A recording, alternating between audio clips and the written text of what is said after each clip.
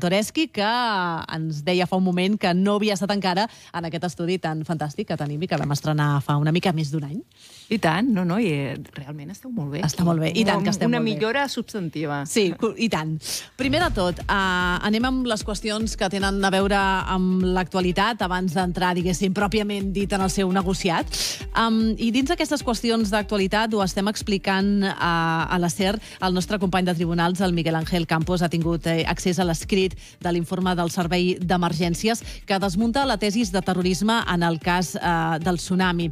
El servei respon al jutge García Castellón que eh, en el cas de les protestes que va haver-hi a l'aeroport de Barcelona eh, va haver-hi una persona que va patir un infart i que malauradament va morir, però que en aquell moment doncs, es va optar per traslladar eh, en helicòpter eh, aquest ciutadà per una qüestió de rapidesa, no pas perquè els accessos estiguessin bloquejats. L'informe també explica um, que eh, l'incident eh, dels aldarulls estaven a la Terminal 1 i el cas amb aquest ciutadà va passar a la Terminal 2, per tant, eh, no tenia res a veure una cosa amb l'altra. D'una banda tenim aquest informe, però és que de l'altra tenim a Suïssa, que li diu al jutge García Castellón que no cooperarà, que, que, no, que li demana més informació per veure quina relació hi ha entre tsunami, terrorisme, Marta Rovira, terrorisme, i el jutge que s'hi encara, que diu que això és inadmissible, que, que Suïssa li digui això. Què en pensa de, de tota aquesta situació tan rocambolesca eh, als ulls de, dels ciutadans? Bueno, al final les coses es posen al seu lloc, això mateix, no? Um, crec que és un de sentit comú uh, veure que, um, que tsunami i terrorisme doncs, potser estan una mica lluny. Uh, aquest tipus penal l'hem estirat com un xiclet uh, i realment um, aquí el que convé és posar sentit comú, ja més enllà de totes les uh, derivades que puguem explicar sentit comú. Uh, algú creu que en les manifestacions del tsunami era terrorisme i a partir d'aquí doncs, jo crec que ja es anirà posant les coses, les coses al seu lloc. Um, Suïssa doncs, també ha fet unes... Uh, ha posat sobre la taula doncs, el mateix, aquest sentit comú. I, per tant, bueno, um, crec que les coses funcionen i es van posant al, al seu lloc. Ara parlàvem amb, amb la companya del País, amb la Milagros Pérez Oliva, uh, de fet, de, el fet que el jutge García Castellón estigui tan capficat en intentar demostrar, uh, no sé si fa un favor a la justícia. Bueno, O abona eh, més la teoria que la justícia està politi- polititzada. Bueno, el tema és com acaba. O sigui, si això acaba amb res, amb una opinió de- del jutge, i per tant mm, la majoria d'instàncies a les que pela doncs, eh, doncs, eh, apliquen aquest sentit comú de, de què és terrorisme i, per tant, eh, amb una acció, de, amb una manifestació, doncs, evidentment, doncs, no es considera terrorisme, doncs bé, mira, um, doncs ja s'haurà canalitzat uh, doncs, eh, la temàtica per on toca. També és veritat que um, que les, uh, els temes informatius són molt visibles però duren poc. Eh? Un cop això ja estigui canalitzat, uh, doncs ja no en tornarem a parlar i, i anirem a una altra qüestió. Tot plegat és una causa-efecte de la tramitació de la llei d'amnistia. Aquesta setmana s'ha aprovat la pròrroga per seguir negociant la llei. Tem que no tiri endavant? Home, jo crec que ningú entendria, ningú entendria que, um, havent arribat aquí, que ha costat molt que s'arribés a crear un escenari que possibilités l'aprovació d'una llei d'amnistia, doncs que no s'aprovés. Tenim al davant un text que és sòlid, que és constitucional, um, que, com evidentment tota llei i tota política pública eh, eh, sempre és millorable, sempre hi trobarem algun element eh, que, pugui, que pugui ser millorable, però en aquests moments no es visualitza quin és aquest element que pugui ser millorable. Jo crec que aquí el sentit comú ens diu eh, ara és moment d'aprovar la llei eh, i mm, si en un futur doncs, eh, doncs veiem que hi ha alguna problemàtica, sempre hi ha altres mecanismes, no? però ara en aquests moments toca, evidentment, aprovar la llei, que és una llei eh, que repeteixo que és sòlida, que és constitucional, que és una llei que es porta molt temps eh, treballant, i recordem, ara ens pot semblar que l'amnistia és una cosa donada per descomptat, però aquí, jo recordo, l'any 19, eh, que algunes persones de diferents espais, eh, de diferents sensibilitats polítiques, ens vam ajuntar a, la taula d'Òmnium dient, bueno, aquí, aquí pertocaria una amnistia. I era una cosa que es veia una cosa impossible, com una amnistia, però què esteu dient, no? Una amnistia, això mai serà possible, no? Però, però tothom, o sigui, d'un cantó i l'altre deien, això mai serà possible, no? I, i bueno, del 19 al 23 han passat moltes coses i el que era impossible ara és una, és una finestra d'oportunitat i, per tant, aquestes finestres d'oportunitat que costen molt de construir s'han d'aprofitar. Les finestres d'oportunitat, si no l'aprofites en el moment que està, eh, es, poden, es poden tancar. No? I aquí l'amnistia sí que realment ens possibilita desmuntar aquesta arquitectura de punició penal administrativa que, um, que ens dificulta avançar en el diàleg, la negociació i el pacte. Eh? I, per tant, hem de tornar al reialme de la política, un conflicte que era de naturalesa política parla que s'ha obert una finestra, però està clar que tampoc estaríem parlant d'amnistia si Pedro Sánchez no necessités determinats vots. Bueno, aquí eh, jo diria en tot aquest tram eh, s'ha fet una tasca de pedagogia, eh? com deia el 19 ningú veia possible, el 23 sí, s'ha fet una tasca de pedagogia eh, a nivell del, de la ciutadania, a nivell de grups polítics, a nivell d'actors socials, i també s'ha falcat una correlació de forces, eh? una correlació de forces plurinacional i progressista que evidentment necessita de totes les peces, i per tant totes les peces posen sobre la taula aquelles necessitats, no? I, i per tant aquesta correlació eh, de forces evidentment evidentment, facilita eh, que aquesta amnistia pugui, eh, pugui veure per fi la llum. Per tant, creu que SOI i Junts arribaran a un acord? Això és un... Evidentment, són els grups, grups parlamentaris els que s'han de posar d'acord, però jo crec que ningú entendria que aquestes alçades no poguessin veure una amnistia aprovada al Congrés, al Congrés de Diputats, que ara la donem per descomptada, però que no ha sigut gens fàcil arribar fins aquí. I creu que incloure el delicte de terrorisme a la llei com demana Junts és condemnar-la tan bon punt arribi el Constitucional? Uh, aquí els juristes um, especialitzats en, en el tema doncs són els que han d'afinar quines són aquelles qüestions no? i són aquells que han estat treballant. Um, si um, hi ha algun element que pugui dificultar la constitucionalitat de la llei, crec que l'hauríem d'evitar aquí. Jo no sóc la persona més adequada doncs, per fer eh, l'anàlisi més tècnic específic. Eh? Aquí hi ha eh, especialistes i, i, en definitiva, és un diàleg que han de fer els parlamentaris, però jo diria que hem d'evitar qualsevol qüestió que pugui eh, fer eh, mm, posar dificultats a que la, la llei prosperi i es pugui implementar. I ja sé que és una altra pantalla, perquè encara no m'ha no aprovat aquesta llei d'amnistia, però els indults podrien ser una solució pels casos en què quedin, quedessin fora, per aquells casos que quedessin fora d'aquesta llei? Crec que ara toca aprovar la llei. O sigui, anem per pantalles, ara la pantalla actual és aquesta llei i s'ha d'aprovar sí o sí, i, i, i en un futur, i, i implementar-la s'ha d'aprovar i s'ha d'implementar la llei. Evidentment, si d'aquí un temps doncs eh, veiem que és necessari fer algun pas més, com dic, hi ha instruments, hi ha diversos instruments sobre la taula, no? però ara, ara el que toca és I els aprovar... indults són un d'ells. Són un dels instruments, podria ser, però el que toca ara és aprovar la, la llei d'amnistia. O sigui, ara és evident que, que la urgència és aprovar la llei. Aquest matí també serà notícia el cas Alves. A les 10 el jutge ha citat el futbolista, ha citat a les parts per comunicar-li la sentència. És un judici que marca un abans i un després. Uh, de fet, és el primer gran judici mediàtic uh, des que hi ha la llei del només sí a sí. Dèiem que marca aquest abans i, i un després, perquè bàsicament una de les coses que, que ve demostrar és que ningú és impuna davant una agressió no? Entenc que ni tan sols els poderosos, no? No sé...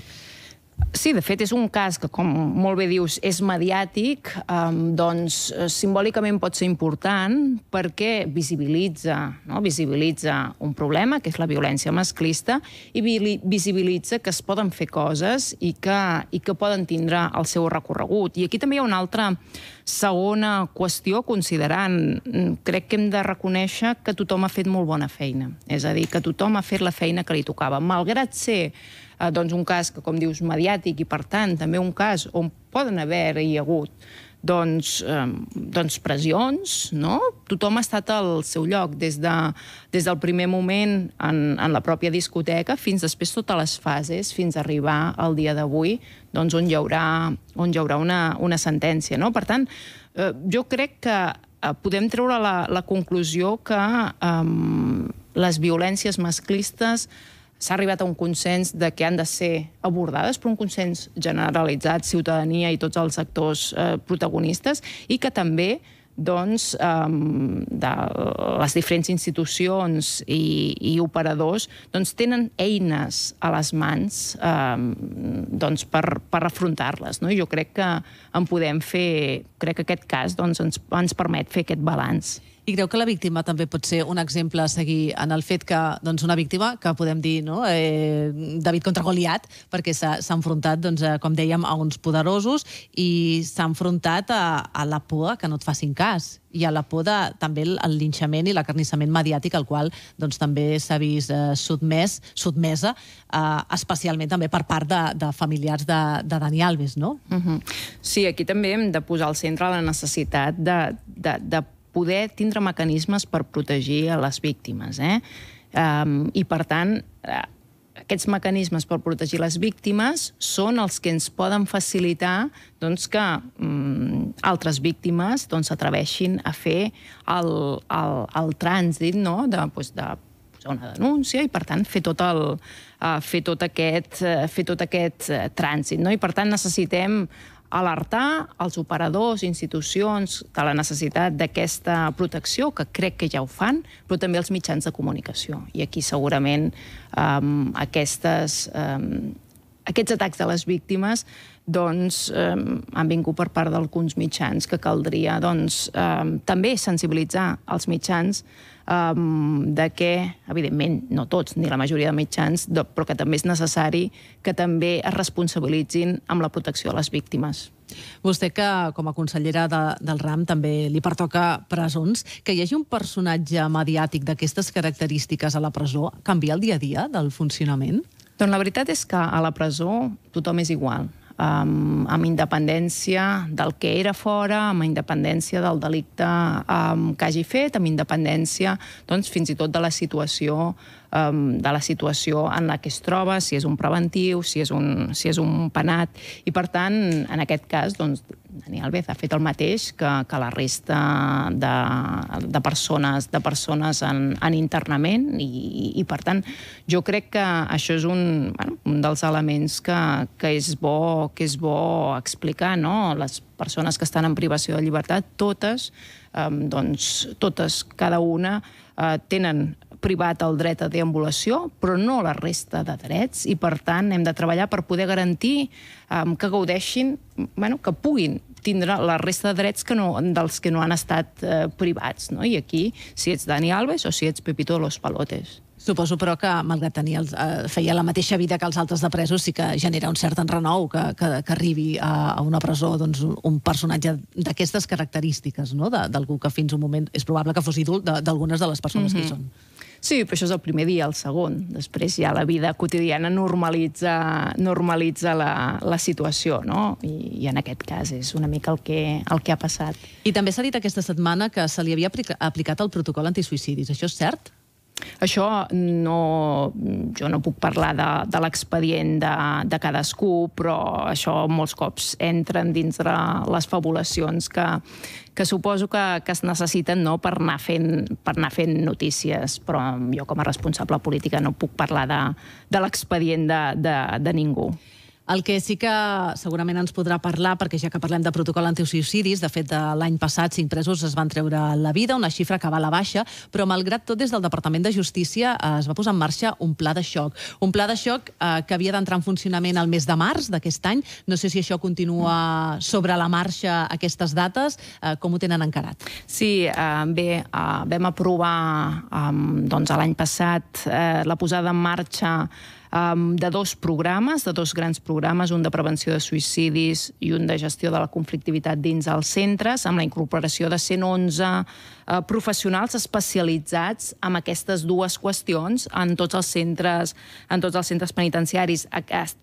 S'està en procés de selecció d'aquest personal perquè el mes de, de març, eh, el, ara ja, ja està a punt d'entrar, que ja puguin entrar als centres penitenciaris amb, aquesta, amb aquest pla de xoc. És cert que mm, vam passar de, um, de 14 suïcidis al 2022 a 5 suïcidis al 2023. Tot i això, qualsevol mort sota custòdia és un drama, qualsevol mort sota custòdia és la nostra responsabilitat responsabilitat i, per tant, no pararem de fer política pública i d'impulsar uh, mesures uh, per previndre, en aquest cas, per previndre, uh, per prevenir uh, suïcidis. Aquest és un programa, que és un programa molt ambiciós, que treballem també conjuntament amb el Departament de Salut, de manera molt intensa.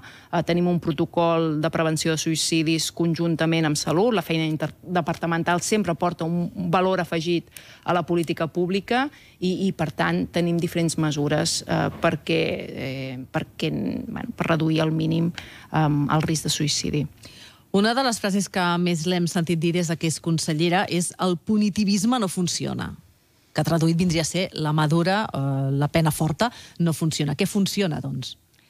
Sí, ara, ara es parla de, de, de punitivisme, d'antipunitivisme, no? No fa gaire, diríem la paraula més clàssica era, era garantisme, no? Que era, um, bueno, um, s'ha de recórrer a, a l'àmbit penal i, en definitiva, s'ha de recórrer a, a, a, a l'internament penitenciari com a última ràtio. No? I això és eh, la norma que, diríem, guia els estats liberals. Eh? I, per tant, aquestes, aquestes garanties. Però no només, eh, diríem, és per, un, eh, per una raó normativa no? de l'internament o el, el, la via penal ha de ser l'última ràtio, sinó també eh, per eh, raons d'eficàcia i d'eficiència. No?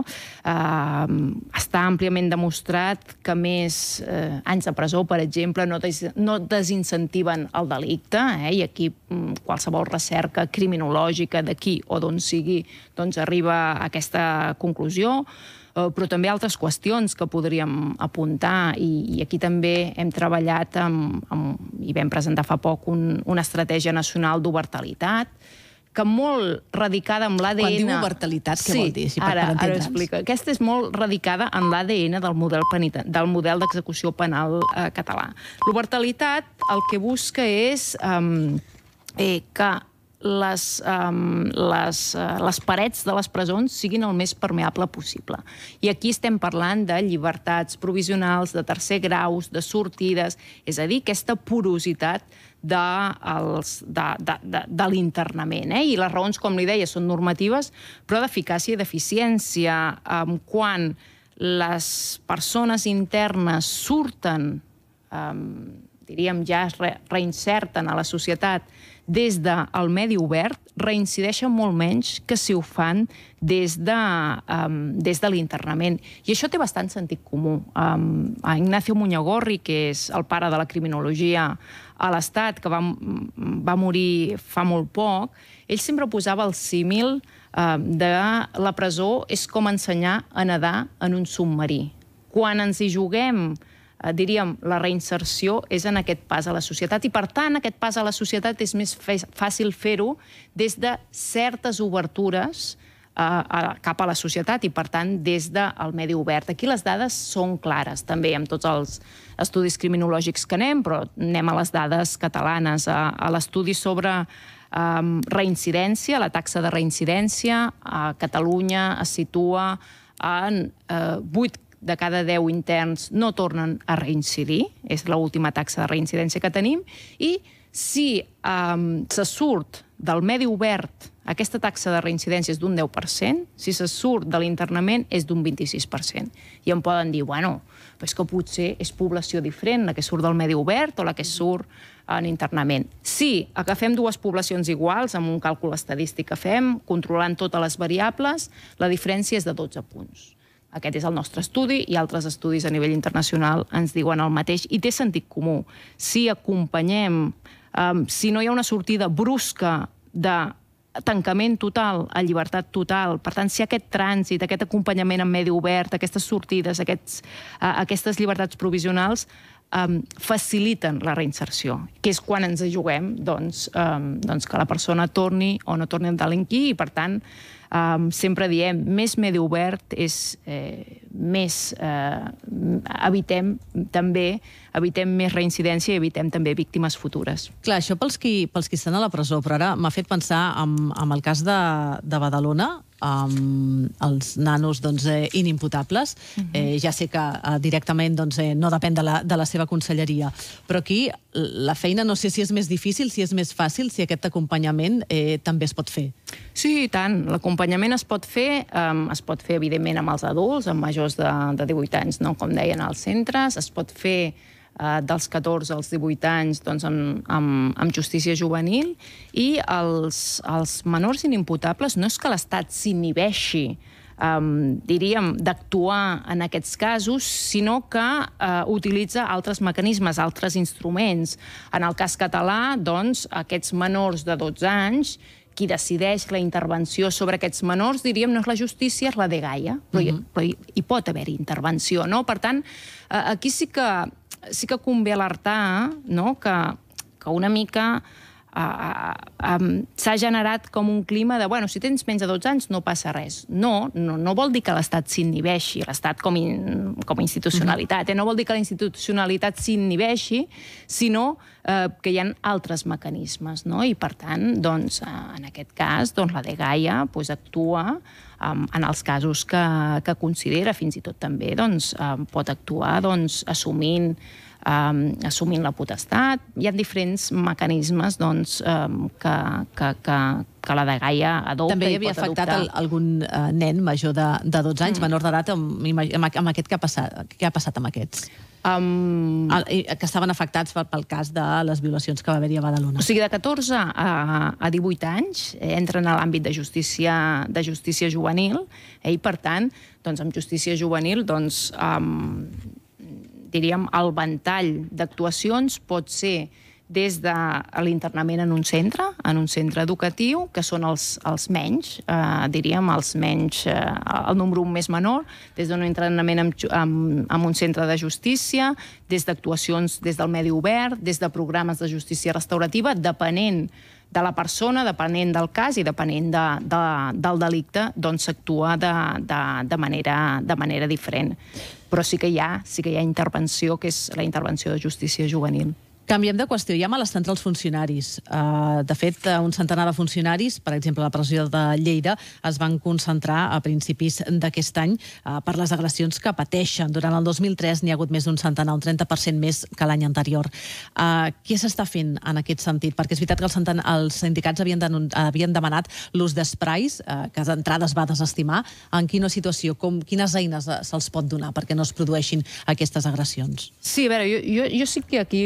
Uh, voldria dir que no estem davant d'una onada d'agressions als centres penitenciaris. Les xifres són estables, amb una tendència a la baixa, sobretot en les greus, i eh, això no vol dir que no ens preocupi la seguretat dels treballadors i, per tant, eh, si hi ha una agressió, només una agressió, i treballarem i treballarem a, a fons. Però jo aquí sí que voldria llançar um, un missatge de tranquil·litat. No estem davant d'una onada um, que hagi canviat respecte al passat, sinó la tendència, la tendència ens, indica, ens indicaria una, una estabilitat i fins i tot una tendència a la baixa del, del més greu. Aquí el que hem fet és adoptar mesures estructurals que vagin a les causes per millorar el clima social i el benestar emocional als centres i, per tant, per reduir la incidencialitat.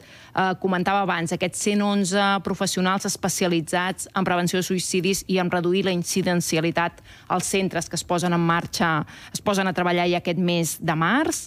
El dimarts vam aprovar al govern una ampliació històrica de plantilla eh, que permetrà treballar eh, eh, millor els funcionaris, i, i, eh, ampliem la plantilla amb 407 nou efectius, Um, estem també impulsant unes unitats d'intervenció compensatòria junt amb el Departament de Salut, que és una intervenció amb interns amb vulnerabilitats acumulades i que solen tindre conductes disruptives. Aquí estem treballant amb una prova pilot uh, al centre penitenciari de Puig de les Basses, que posteriorment doncs, s'ha doncs, d'extendre a altres centres i totes aquestes mesures estructurals han d'anar doncs, a, a caminar cap a aquest millor clima social i benestar emocional que possibiliti doncs, també reduir, um, reduir la, la incidencialitat Em parlava de, de més plantilla als centres, on també faria falta plantilles als jutjats. Hi ha col·lapse. De fet, la degana dels jutges de Barcelona, Cristina Ferrando, eh, ho deia l'altre dia, fa poc, en unes declaracions aquesta setmana. La degana té, té raó. O sigui, la justícia va massa lenta perquè tenim un coll d'ampolla, que és el col·lapse als jutjats. Aquí li donaré una dada. Estem sota la mitjana en nombre de jutges i magistrats cada 100.000 habitants, eh, respecte a la mitjana, la mitjana estatal. Um, la mitjana estatal és de 11,6, nosaltres estem a 10,9. Uh, estem en un territori amb una litigiositat alta, més alta que la mitjana estatal, amb un, també una mobilitat del personal judicial important, que és un hàndicap eh, destacat de Catalunya, i per tant aquí eh, nosaltres el que demanem és una acció específica al Ministeri per, en dos anys, igualar la mitjana estatal de jutges i magistrats. Necessitem 55 jutges i magistrats més per situar-nos només en la mitjana, en la mitjana estatal. Això significaria un cert alleugerament en la situació de col·lapse, ens permetria actuar, per exemple, el cas que explicava la Degana, ens permetria actuar a, a Barcelona, ens permetria actuar a altres, altres llocs. Hi ha una dada que no sé si us, si us la va posar sobre la taula la Degana, però crec que, que ens, ens convida a actuar al el, en l'àmbit penal, els jutjats ràpids s'estan agendant a Barcelona amb un termini de 12-16 mesos. Jutjats ràpids, 12-16 mesos. Llavors, els lents? Per tant, aquí eh, ens convida a actuar. Aquí, evidentment, doncs, la responsabilitat de dotar de jutges i magistrats és del Ministeri, però nosaltres ens comprometem com a departament que si el Ministeri posa sobre la taula aquests nous jutges i magistrats amb una acció específica a dos anys vista, nosaltres diem 25 i 25, per tindre aquests eh, 50, nosaltres ens comprometem a dotar de recursos, eh, d'edificis i de personal de suport que sí que és responsabilitat de la Generalitat. Però necessitem aquests cossos superiors, eh, que són jutges, magistrats, fiscals, que són els que tenen capacitat resolutòria. I aquí eh, doncs convidem aquesta mesura, aquesta acció específica que eh, doncs ha de desencallar el Ministeri, però que nosaltres ens comprometem perquè realment haurem d'aportar una quantitat de recursos important. Ens queden pocs minuts. Uh, una de les seves croades és l'ús del català a la justícia. Sí, a veure, aquí la mesura, la mesura que serà la que tombarà, eh, diríem, eh, entre el nou ús i l'ús del català a la justícia és una reforma eh, de la llei orgànica del Poder Judicial perquè el català passi a ser un requisit en les actuacions que es fagin a Catalunya.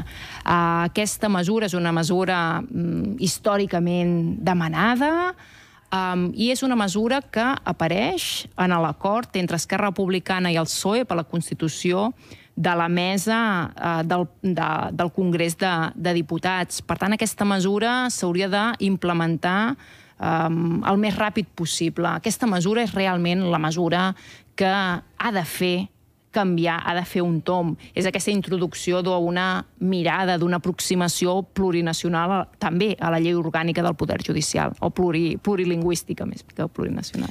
Marina.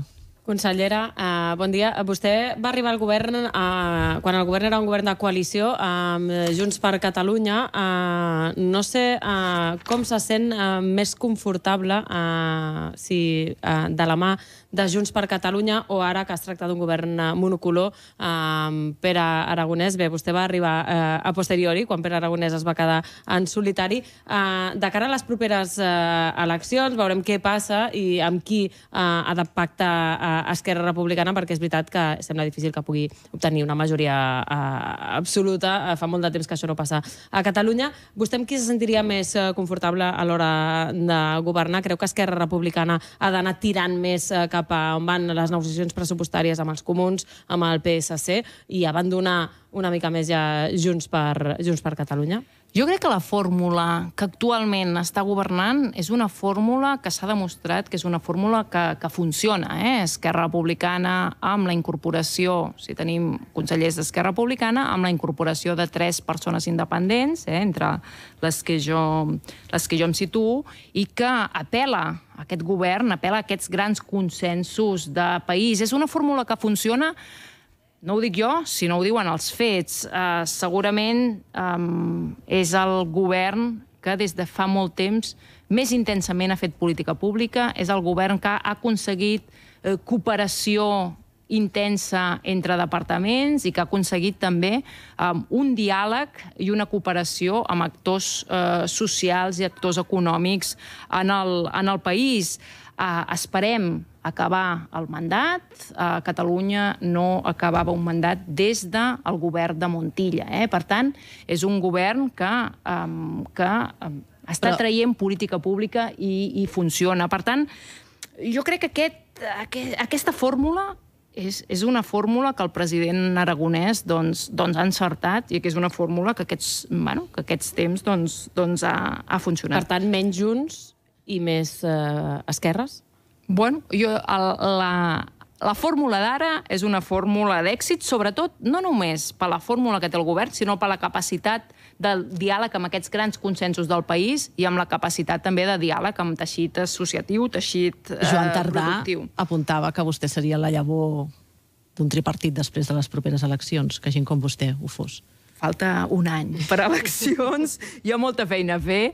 Jo, en aquests moments, estic eh, concentrada en fer la feina que m'ha encarregat el president, el president aragonès. És una feina sectorial realment eh, que jo sempre explico. És una, és, segurament tenim un departament poc visible, que genera poca notícia, uh, però realment és un departament molt apassionant i que potser fins i tot és bo que generi, o sigui, és bo que no estigui en el dia a dia en, en els mitjans, perquè hi ha molta feina a fer, amb temes molt delicats i que s'han d'anar cuinant a foc, a sí, foc lent. vostè per no tant, es prodiga massa pels mitjans, eh?